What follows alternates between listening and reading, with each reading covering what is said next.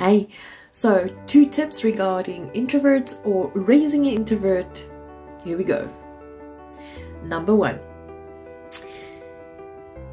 give them time to process. Yes, they need quiet time to process because they're spending all their energy by being around people. So they need to recharge before they can actually tell you something. And the second second thing is let them be quiet in your company without picking on them. Why is it so difficult to understand?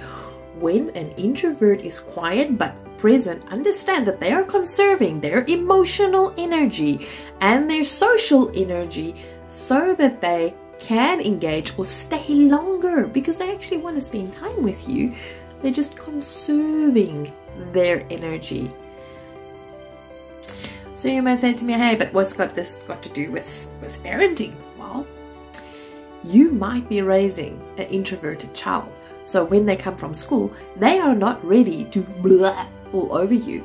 They actually need time to process, recharge because they were spending energy between people, and then they are ready to share with you. And living by example. If you show them that introverts are people to pick on in social situations like, oh, you're so quiet. If you could say something, what would you say right now? Um, you're basically telling your child that you are not a safe person to be around and they'll then rather go hide in their room than be quiet in your presence. So maybe we as extroverts have a little bit of work to do regarding this.